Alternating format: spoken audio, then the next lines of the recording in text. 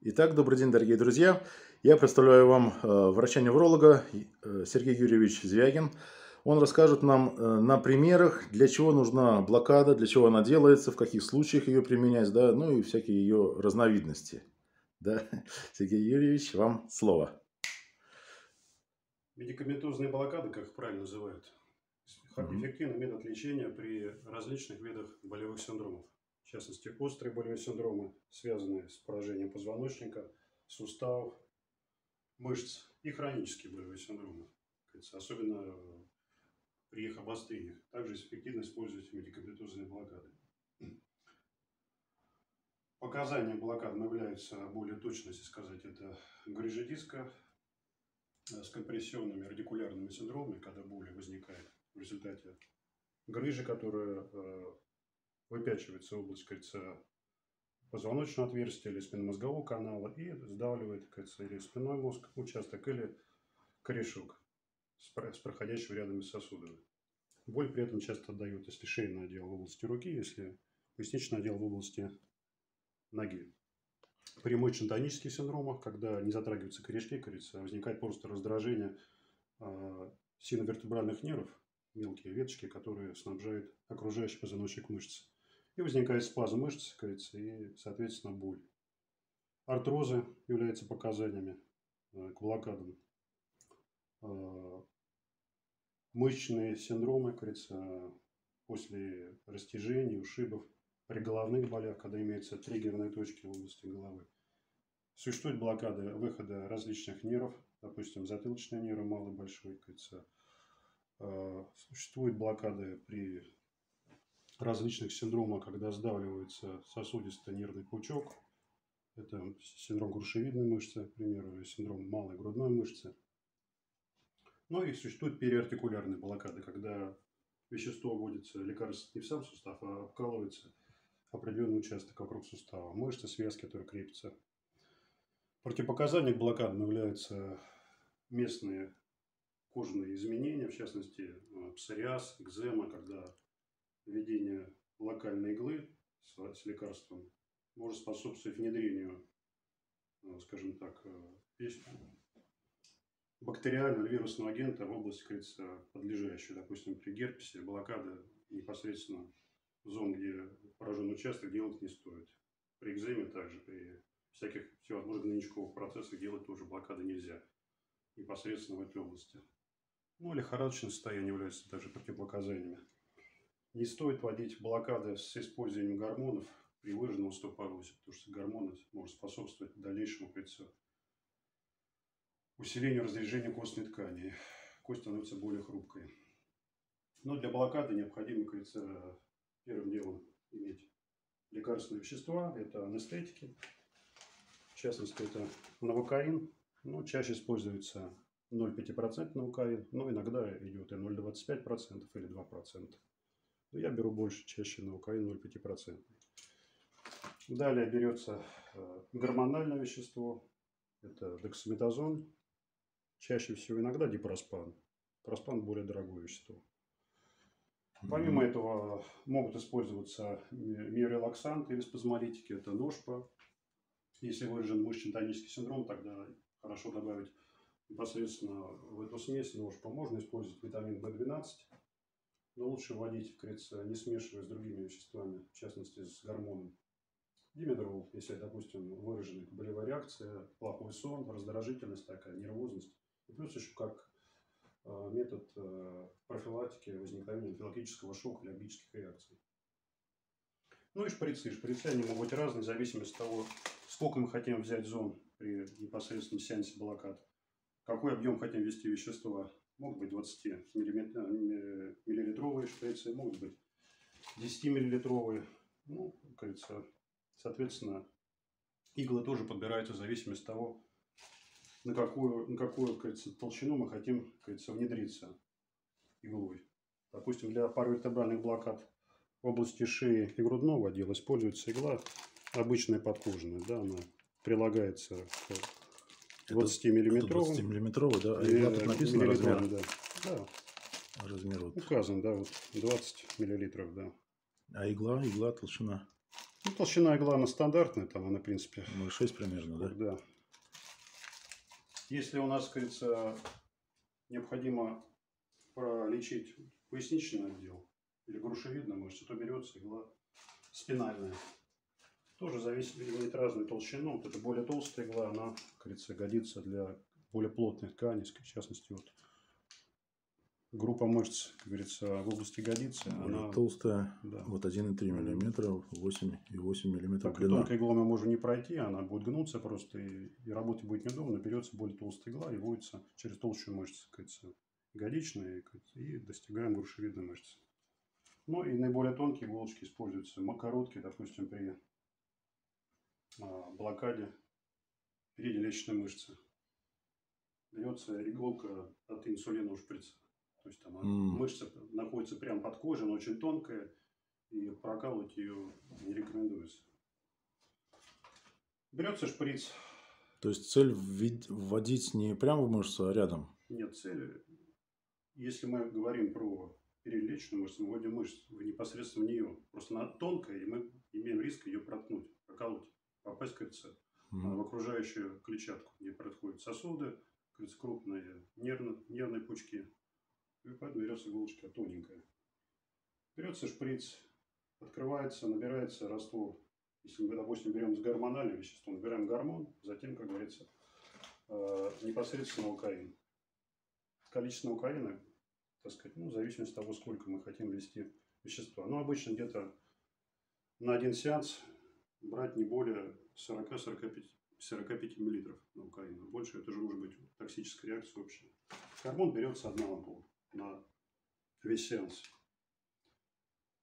Набираем. При необходимости можно добавить аношку, как я сказал, димедрол. И наиболее частые у нас это паравертебральная блокада.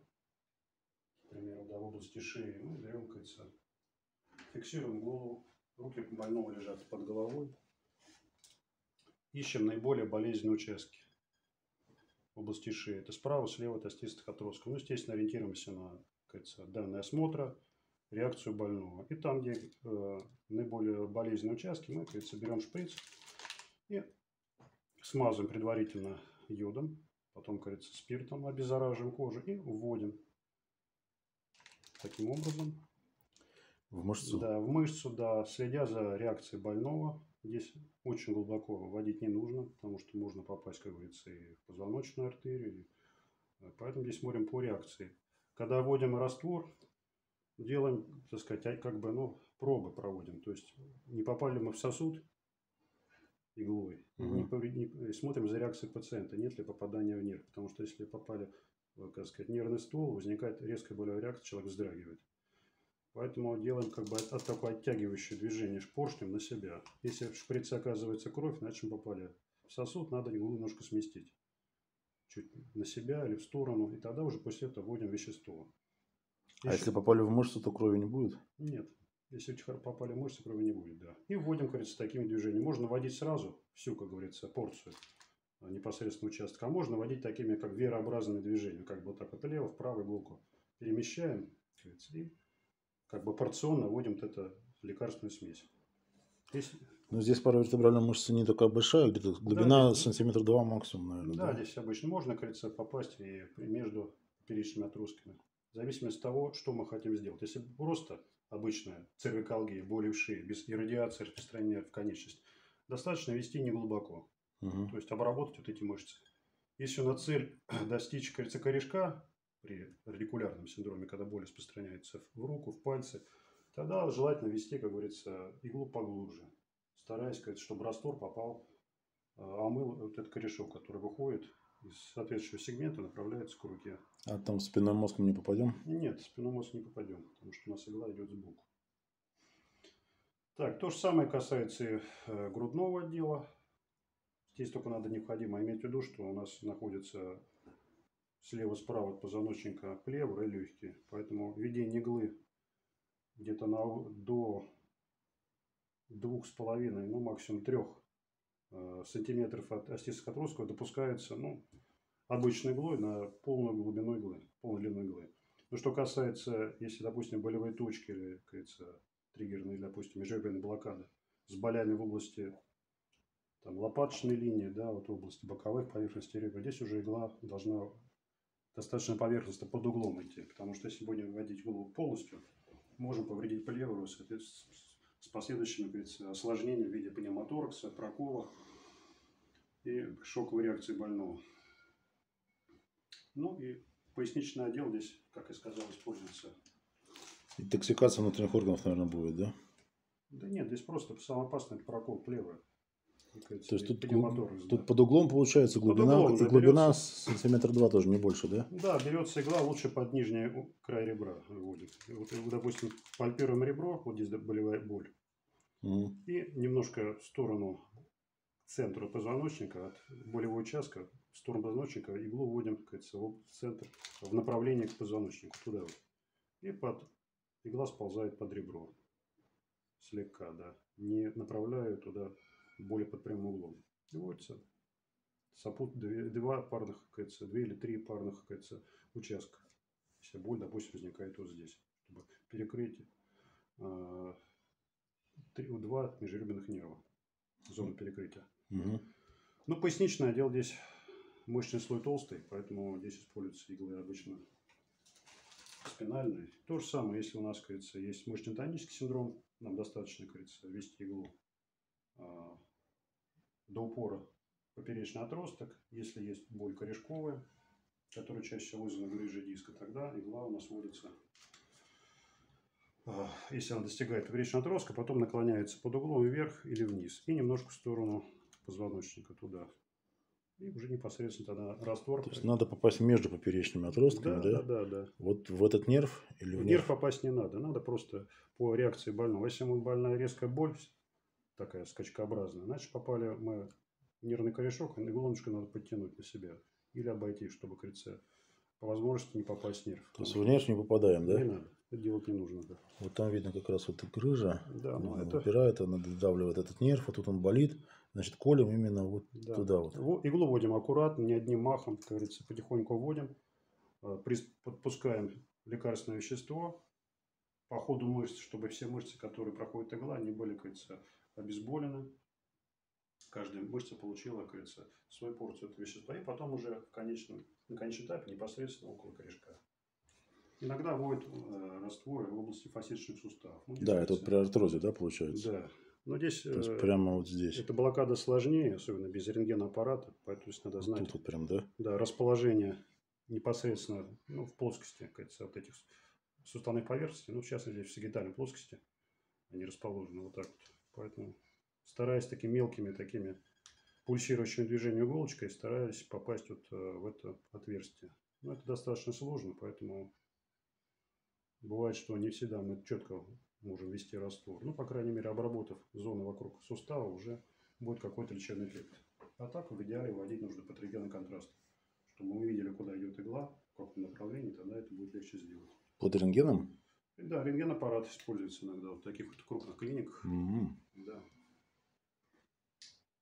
Ну, что касается э, наиболее других частых используемых блокад, это блокада грушевидной мышцы.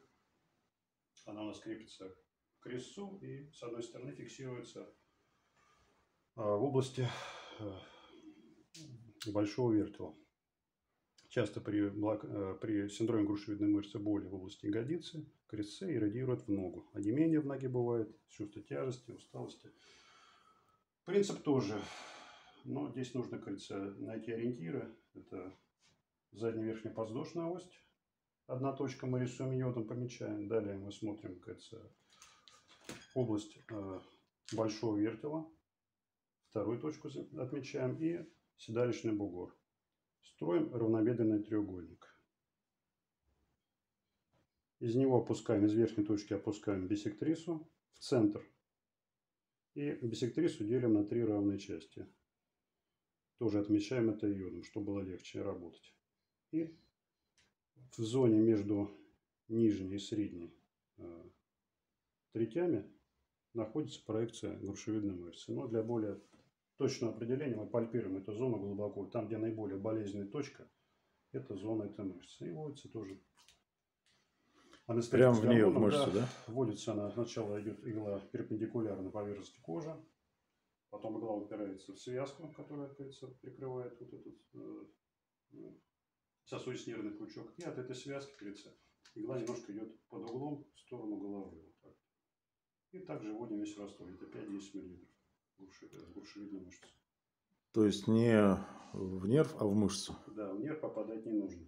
Потому что потом возникает, как говорится, выраженные боли часто, и человек вам спасибо не скажет после такой блокады. Угу. Ну, на доске вот можно нарисовать, где эти точки да, ну, находятся. вот сейчас я нарисую.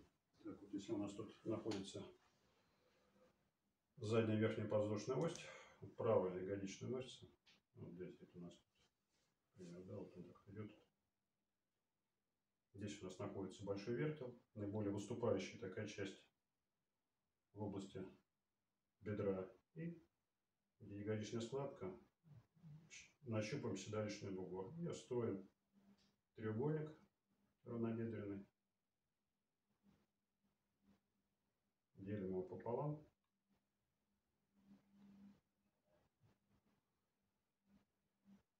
И делим вот эту бисектрису на три равные части.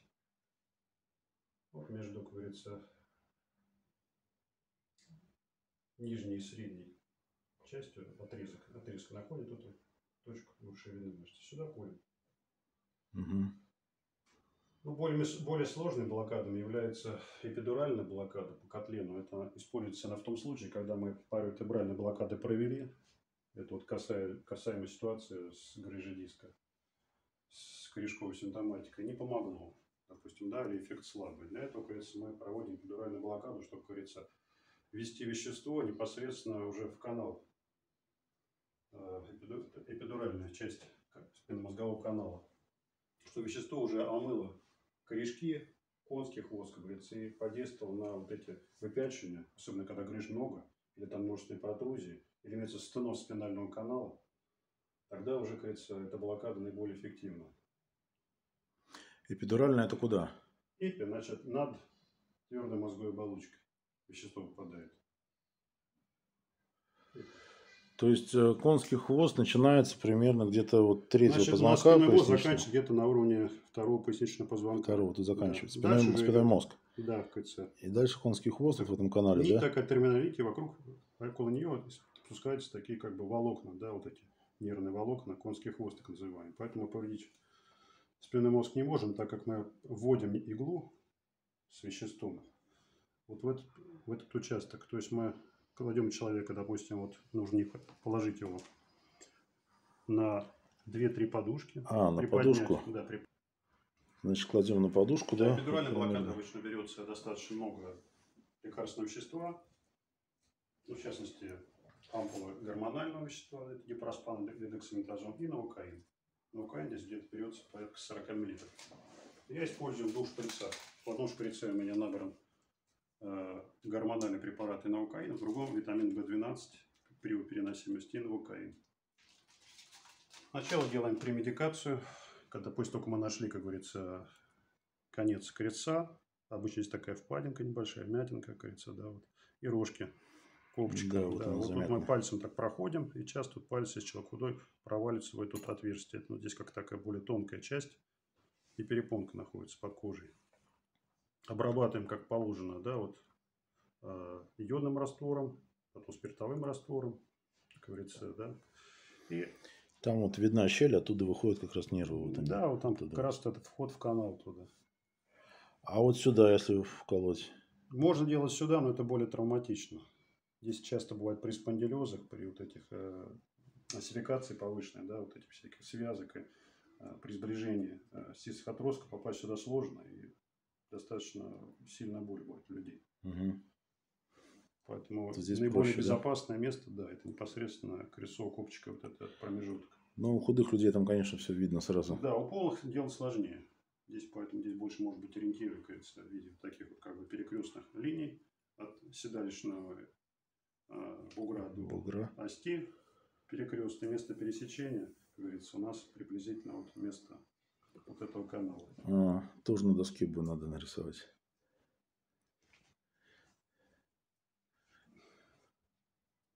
Вот тут она заканчивается крестец. Где-то здесь вот, да, начинается копчик. крестец. Здесь начинается копчик. Туда углубляется в сторону заднего прохода, да, я нарисовал. И в положении на боку или на животе с подложенной валикой ну, делаем блокаду. Сначала делается премедикация до того, как мы провели основную часть. То есть вводится где-то ну, полтора-два миллилитра наукаина чистого, маленькой инсулиновой иголочкой. А крест ты сможешь нарисовать? Крест, если мы, допустим, ищем вот таким способом. Сейчас я, соответственно, это сделаю. Так вот, задний верхний воздушный ось, седалищный бугор. Я уже рисую крестиком, чтобы не путать с этими, да, вот. Угу. И здесь тоже делаем аналогично. Здесь ориентиры и проводим линии от седалищного бугра до задней верхней воздушной ости. И то же самое с другой стороны. В месте пересечения предположительно находится вот это место, где мы должны ввести иглу. Сделали премедикацию и после этого уже берем иглу, обычная игла, от обычного шприца, вводится под углом э,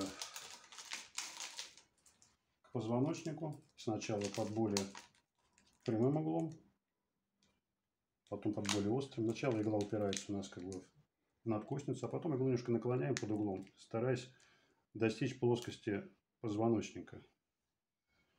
И после этого подсоединяем шприц. Иголочку поворачиваем влево-вправо, так прокручиваем, смотрим, нет ли выделения кажется, ликвора или крови. Если все нормально, значит мы можем приступать к блокаде. И подсоединяем к иголке шприц. Сначала один, потом второй.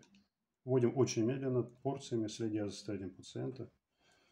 Угу. Обычно пациент ощущает... э, То есть прямо вот в эту дырочку получается. Да, да, да. Тут важно очень попасть. Потому что Да. бывает так, что игла уперлась в надкостницу и раствор не идет. Мы нажимаем на поршень, а нет ничего, движения нет. Или игла слишком, как говорится, э, взята, взята, взята высоко, раствор начинает поддувать. Начинается, как только первый весь вырезать под кожей. То есть раствор идет под кожу, а не в канал. Тоже это надо иметь в виду. Вводится медленно, следя за состоянием пациента. Блокаду сделали, говорится, да. Больной лежит минут 5 в область, э, на животе, потом переворачивается на сторону боли. Допустим, если болит у него левая половина, левая нога, значит, он лежит где-то 40 минут-час на левом боку. Голова приподнята, но это уже после блокады. Если будет левая, то лежит на левой стороне, да? Да, чтобы раствор стекал вот на эту сторону. Это вот, что касается эпидуральной блокады. Ну, Блокада внутрикостная у нас как была разобрана. Да, у нас было разобрано в первом ролике. Сейчас не будем, наверное, про это говорить. Ну и вот немножко сюда вот нюансы. Я слышал, что вот если э, болит, например, вот, вот, например, здесь, да, то по логике корешок-то выше находится, да, то нужно колоть именно верхнюю часть. Ну, Где-то, где-то делом- два пальца откладываются вот так и два пальца в сторону, чтобы попасть между как раз вот этими боковыми отростками. Мы в основном, Правильно? да, если мы см- смотрим больного, у которого ситуация а, связана с мышечно-тоническим синдромом, то есть не связана с грыжей, а просто обычная боль в пояснице, как говорится, не иррадирующая в ногу, мы ориентируемся на болевые точки. Пальпируем, там, где точка наиболее выражена, мы туда вводим раствор. Лучше, конечно, вводить выше и ниже. Допустим, если болит на уровне, к примеру, да, вот третьего поясничного позвонка, мы вводим тогда на уровне L2 второго поясничного и на уровне, как говорится, L4. То желательно захватить вот три соседние участка. И желательно с двух сторон. То есть просто, допустим, если болит с левой стороны, колоть в одну точку, это будет недостаточно.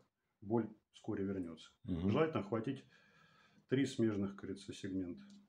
Ну, колоть-то куда? Прям в фасеточный сустав или все-таки вот между поперечными отростками? Вот сюда попасть? Ну, желательно охватить и то, и другое, потому что, говорится, боли, они часто связаны не только с спазмом мышц, но, говорится, с артозом фасеточных суставов. Ага. Если у нас, помимо этого, еще боль корешковая, то есть дающая в ногу, мы там посмотрели неврологически там вы- выпадение или снижение коленного рефлекса, ахиллового рефлекса, тогда мы стараемся иглой провести уже глубже, уже стараясь между поперечными отростками, как говорится, ввести раствор в области, как говорится, выхода нервных корешков. То есть мы смотрим по ситуации. Но всегда желательно, как говорится, охватить три сегмента. Выше, ниже проблемной зоны. Угу. При плечевом периартрите это, наверное, колется прямо вот При плечевом вокруг, периартрите, да, мы, вокруг, да, вот сюда надо попасть. После осмотра, кажется, больного смотрим объем движения пассивно-активно и начинаем пальпировать точки. Чаще всего боли возникают вот здесь, между, кажется, акромиальным отростом лопатки и головкой плечевой кости. Угу. И тоже набираем лекарственный раствор обычной иглой от обычного шприца, да. Слегка приподнимая руку, мы, кажется, начинаем вводить иглу под, вот в это пространство между головкой плеча и кремальным отростком, наиболее выступающей части. Игла у нас потихоньку проваливается в это отверстие. Да, вот. угу. Руку мы поднимаем, иглу вводим, игла попала. И по, по мере введения иглы мы вводим раствор. Игла находится, кажется, в полости сустава или около него. Ну, кто-то говорит, что в сустав не нужно входить, кто-то допускает, поэтому я вхожу в сустав иглы.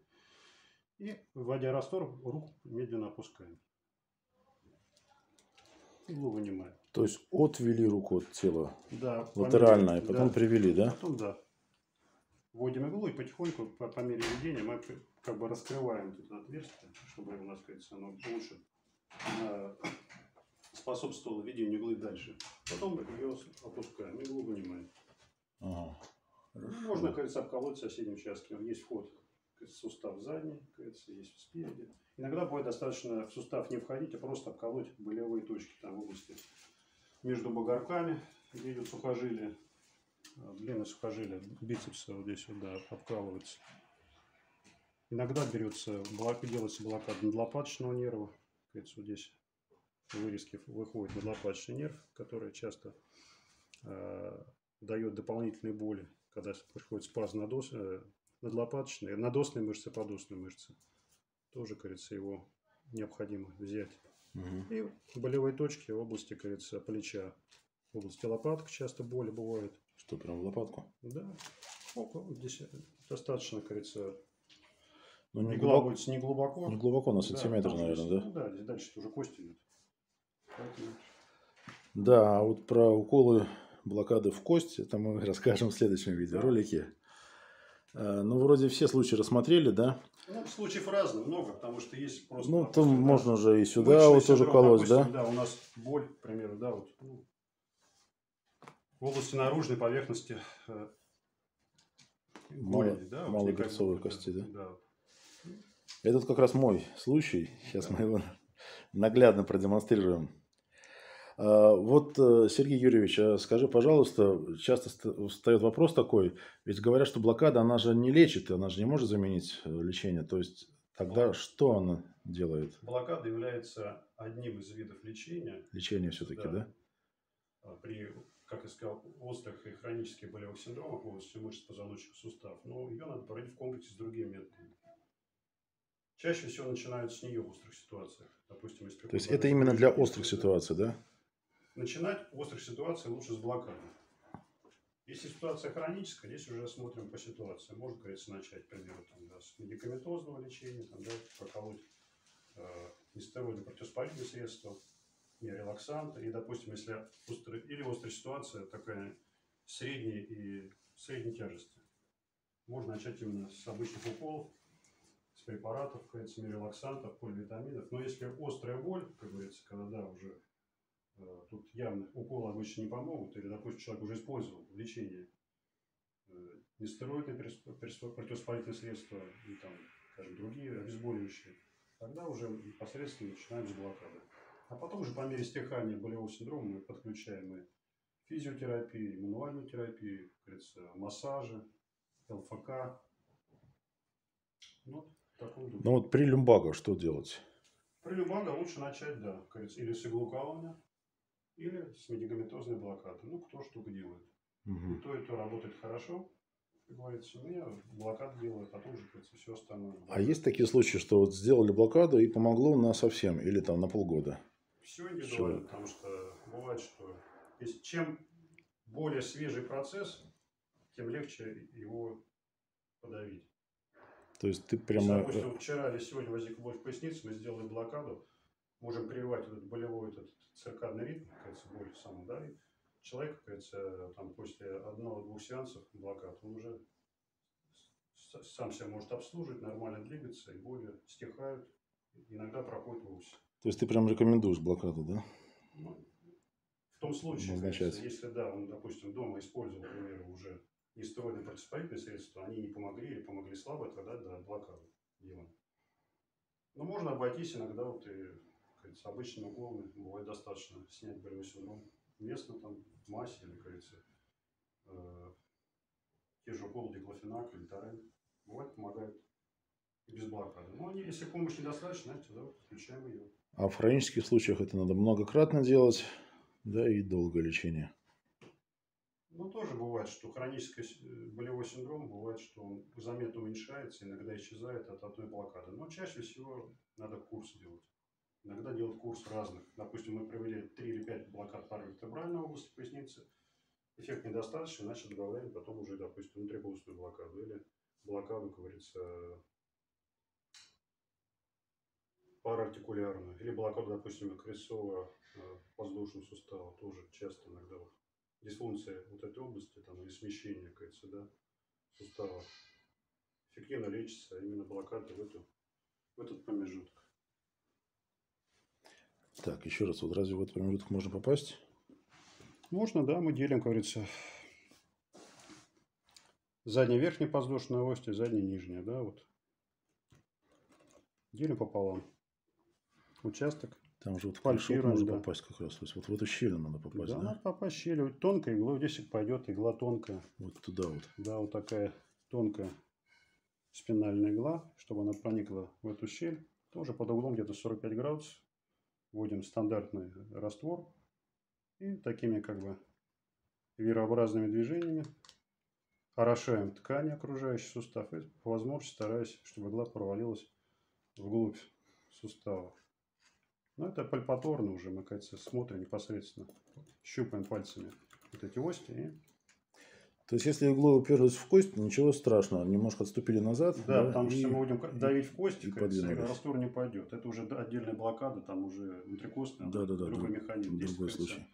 Ситуация та, что от кости надо отступить и чуть Так, раз да, размер, размер иглы. потянуть, да, или Сколько будет? 0,4 миллиметра толщина, а длина 8 миллиметров. Или постараться иглу сместить чуть влево, чуть вправо под углом. Поступательное движение иглы и смещение чуть влево, чуть вправо. Мгм.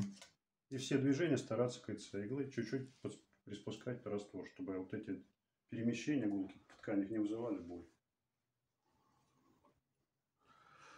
Так, хорошо, спасибо. Ну, давай перейдем к наглядному примеру.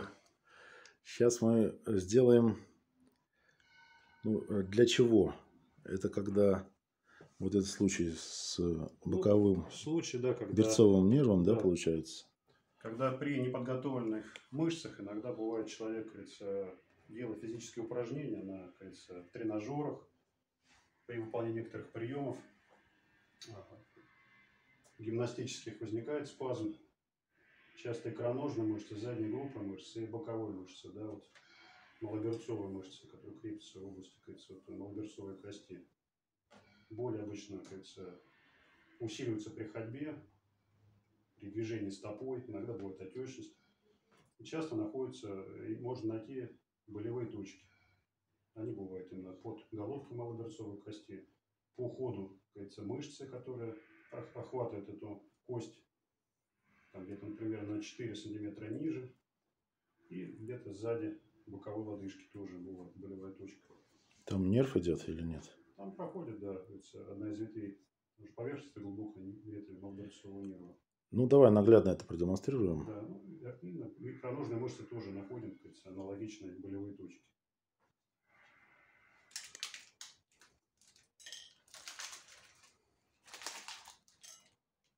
Так, вот этот опущу вход. Подлиннее.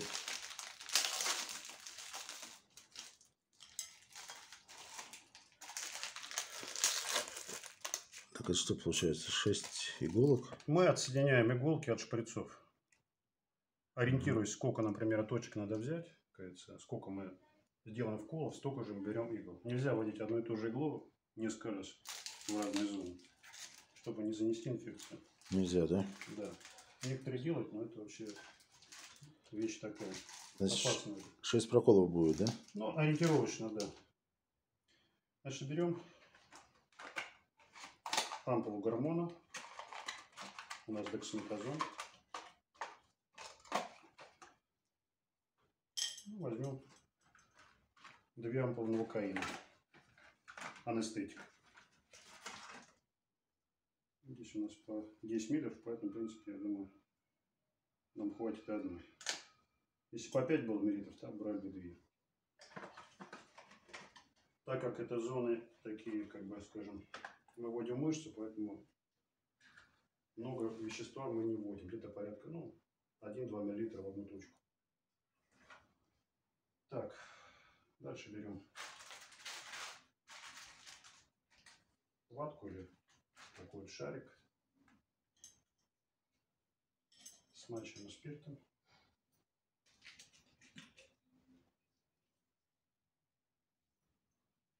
протираем, говорится, ампулу там, где будем ломать на линии излома. Угу.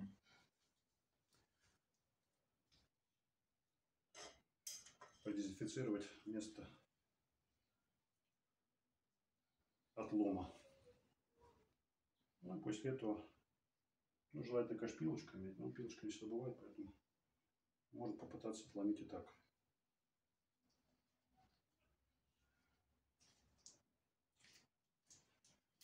Конечно, тут желательно что-то подпилить. Это пластмассовая или стеклянная? Стеклянная, да, ну тут Без насечки чуть хуже ломается, да, да? поэтому тут надо быть аккуратным, чтобы не париться. Бывает, идет скол через всю ампулу, все выливается, и палец бывает иногда поранен. Значит, ампулу мы одну вскрыли, теперь втор- вскрываем вторую. Ну, Здесь проще, потому что на пластмассу здесь все удобнее гораздо. Значит, аккуратненько, чтобы не упало. Мы берем иголочку.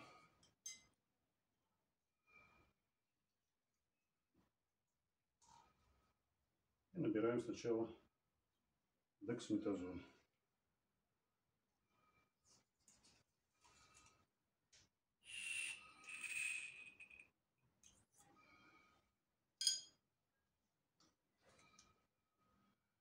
Излишки воздуха выпускаем.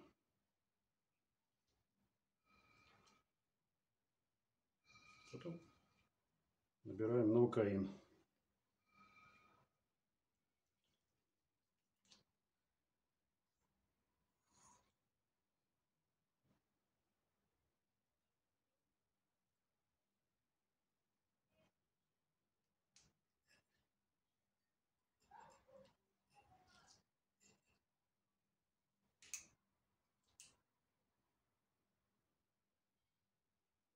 Вот набрали.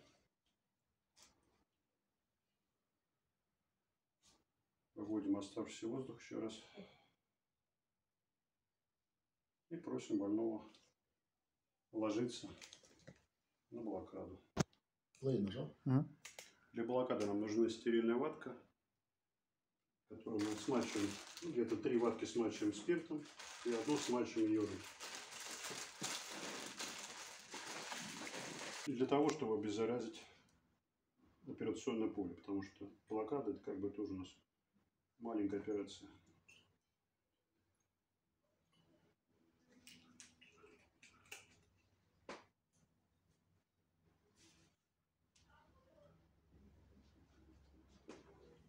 Готовим все для блокады, полный набор и начинаем.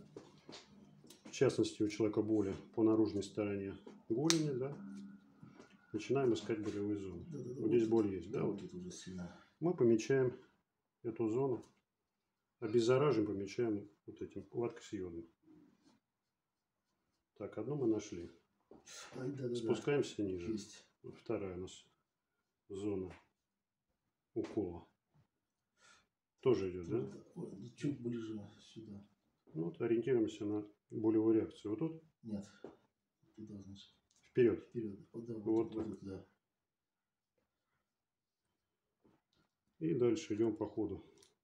Ну, что-то есть, да, что-то. Не так уже сильно. Ну, ищем наиболее болезни, потому что тут, как говорится, всю, весь длинник мышцы обкалывать смысла нет. И обычно тут бывает зона. Да, где-то там Вот есть. тут. Ну, Не совсем понятно. но За где-то боковой лодыжкой это место крепления мышц у нас. тут. Может пониже. Ну, чаще вот тут где-то. Ну, где-то. Ориентировочно, да. Ну, это у нас как бы первый, да, вот этап. Шесть получилось точек. Пока 4. Потом там уже будем смотреть сзади. Далее протираем эти участки спиртом. Йод должен быть удален.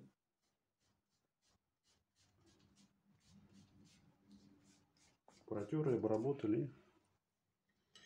А с обратной стороны не болит, только с этой стороны. Ну, Посмотрим и с той стороны еще. Потому что часто они сопутствующие две мышцы, они как задняя группа, боковая, они часто бывают в одной связке в болевом синдроме. И снова возвращаемся к первой вот этой болевой точке.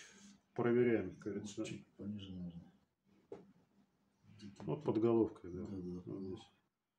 Это конвалоидная там мышца идет, да? Лаберцовая. А, берцовая. Да, вот и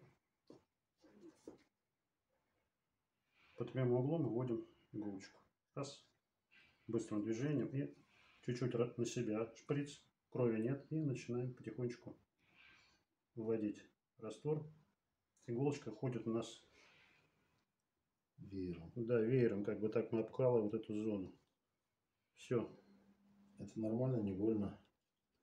Ну, по-разному люди. Я Вот. даже практически не чувствую. Да, вот.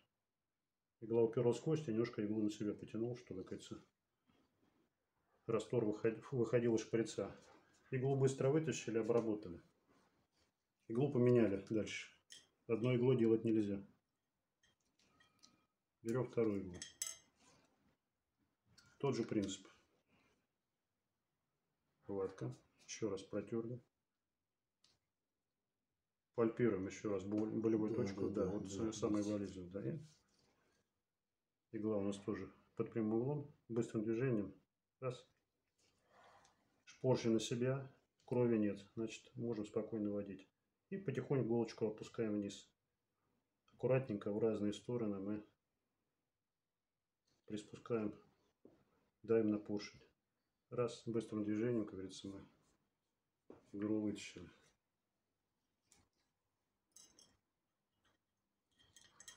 Третья точка у нас ниже.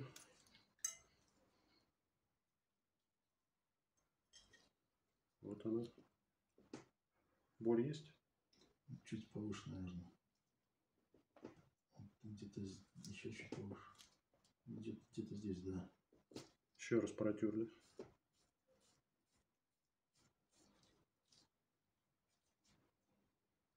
Вот тут еще раз проверяем, да? Наверное, повыше все-таки. Да. Тот же принцип. Перпендикулярно. Раз. Потянули шприц на себя. Поршень иглу. Крови нет. И потихонечку. Так вот. Можно иногда повторно подтягивать шприц. Если особенно зона богатая сосудами.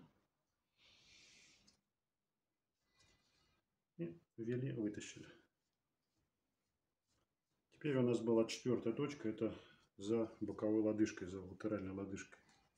Там, где игла, где мышцы крепятся к кости. А может еще посередине между этими отрезками. Ну, можно проверить еще где-то вот. Я просто оставляю запас на случай, если пуля у нас будет вот тут. вот. Нет, с этой стороны нет. Потому что я в прошлый раз смотрел, там было, была болевая зона где-то вот. Ну, если кровь выступает, можно, Большой да, берцовые мышцы. Может там. Можно, да, пройти немножко спереди вот тут вот. Ну, сейчас болит. Да, передняя большеберцовая мышца тоже может иногда вот участвовать. Боли нет? Ну, вроде нету. Вроде нет. Значит, у нас ограничится зона вот. Еще раз пройдемся вот тут. по длиннику мышцы. Боль есть? Да, вот там была в первом, первый раз. Еще раз. Вот здесь. Вот тут. Да. Есть тут, да? Ну, чуть повыше где-то. Она какая-то блуждающая, вроде рядом. Ну, вот надо стараться ее найти. Не могу понять, где. Стараться пропальпировать зоны вокруг предполагаемой точки и найти наиболее болезненный участок. Вот мы так уже прям прицельно ищем. И вот надо, чтобы больной уловил этот момент, где была боль. Вот примерно по всей вот этой длине одинаково будет. Надо найти наиболее болезненный, потому что Наверное, нет необходимости обкалывать Все-таки выше там больнее. вот тут. Где-то вот тут, да. да вот тут. Ну, вот можно сделать сюда еще дополнительно. Вот, возвращаясь, говорится, чем мы, с того, с чем начинали, обрабатываем, да, точку мы это не заметили, но можно, говорится, тоже ее протираем зону йодом. Ну, все надо спрашивать человека, переносит ли он йод. Бывают такие больные, кажется, идиосинкразии, так называемые, когда непереносимость йода возникает аллергическая реакция или бывает анафилактический шок. Поэтому здесь тоже надо все выяснять. Перед любой блокадой надо выяснить, приносит ли человек вещества, которые мы вводим. Бывает аллергия на новокаин, на лидокаин, реже на гормоны. Поэтому тут нам важно, говорится, не навредить. Я все переношу, даже не знаю таких Ну, людей, очень хорошо, да. Есть люди, которые, да, бывает, что сюда. мы забываем это спросить человека, да, и нарываемся, вот тут боль, да, у вас? Где-то может что-то лежит сюда. Вот тут, вот тут, вот, Вот вот тут. да, вот тут. Вот делаем туда-сюда. Все то же самое. Раз. Вот иголочка покороче, поэтому, да, мы вводим на всю длину. На какую? 4 сантиметра? Ну, это двух, двухграммовый шприц дает. Так вот. Там, по-моему, 6 сантиметров игла. Ну, она как подкожная игла такая вот.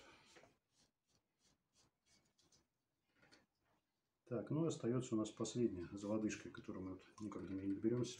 Последняя. Лодыжка была опухшая. Да. Сейчас опухоль чуть спала. А вот здесь делается прокол по-другому. Здесь, кажется, под углом. Игла направлена вниз к стопе. Вдоль сухожилия мышц здесь делается. Еще раз обрабатываем. Ну, кажется, используем разные вали, шари, эти ватные шарики по мере того, как, кажется, пачкается предыдущий кровью, там, кажется, кожное выделение. И снова ищем. Ищем там, где больнее. Такой острой боли нету. Ну, здесь точку желательно это взять, потому что там, где мышца начинает крепиться, и там, где Может- заканчивается. Может, ближе там, где кость. Вон сама лодыжка. Ну, где, где у нас болезнь? Ну, что-то тут нету такой болезненной. Вроде нормально. Ну, сделать надо, потому что здесь, кажется, мышца должна быть полностью. В общем, ориентировочно здесь у нас проходит сухожилие, мы под углом вот так вот вводим. Раз, туда. Подтягиваем поршень и смотрим за болевой реакцией. Нормально, терпимо. Хорошо. Ввели. Иголочку вытащили.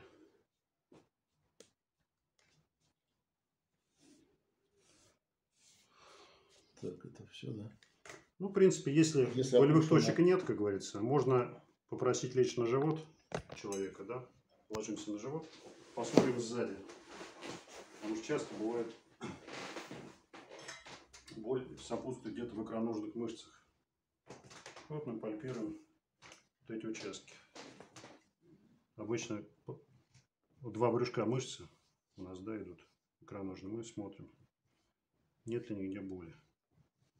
Нет боли? Терпимо, все нормально. Все терпимо. И Да. вот там, где мышцы сходятся, вот у нас тут. Вот тут. Нормально, нормально. Нормально. Боли нет, да? Нет, нет боли. Ну и еще раз возвращаясь чуть-чуть на бочок, вот сюда мы ложи- смотрим, да, вот. По передней большеберцовой Вот мышце. здесь, да, вот здесь самое такое место. Вот тут. Боль есть? Да, тут есть. Вот тут есть боль. Если сильно нажать, то есть. Тут уже нет, да? Здесь меньше, да. Это э, большеберцовые мышцы, да? Передняя большеберцовая мышца, да. Ну тогда мы еще оставшийся раствор мы ведем. Да, вот так человек может лечь, да. Нога должна лежать устойчиво, не болтаться, не на весу. Вот мы сейчас также возьмем еще иголочку одну дополнительно.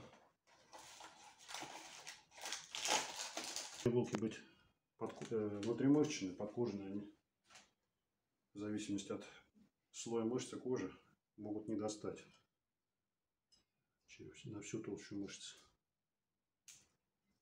Так, и то же самое мы обрабатываем йодом. Так, тут у нас, да, вот? Да, вот. Была вот. Протираем спиртом.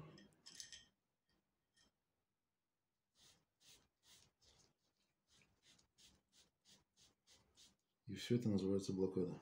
Да, медикаментозная блокада. Блокада, то есть прерывание. Прерывание боли. Прерывание боли. Замыкание. Да, да, вот, Вот тут. вот тут, да.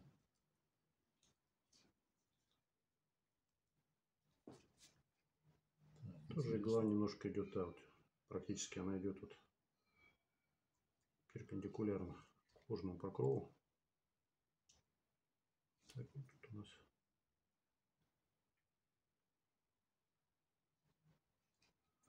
ввели где-то миллилитр на вещества. Все протерли еще раз спиртом. Все, да? После блокады человек должен лежать.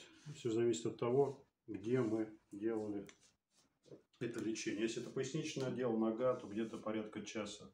Ну, минимум где-то 40 минут. Если мы делали в области шеи, ну, где-то минут 10-15. Чтобы не было ортостатической гипотензии, то есть при вставании, что человек не упал давление, он не упал, не закружилась голова. Чтобы вещество разошлось хорошо по тканям, как говорится, да. Ну, человек успокоился, отдохнул, как говорится, и сразу нагрузку давать не нужно на зоны, где мы, как говорится, делали эти уколы. Раствор должен разойтись, и, как говорится, мышцы расслабиться. Человек лежит спокойно, его накрываем, как говорится, простыней, одеялом, под голову кладется подушка. Человек лежит в удобной позе. Может на боку, может на спине. Внимание. Операция завершена, спасибо.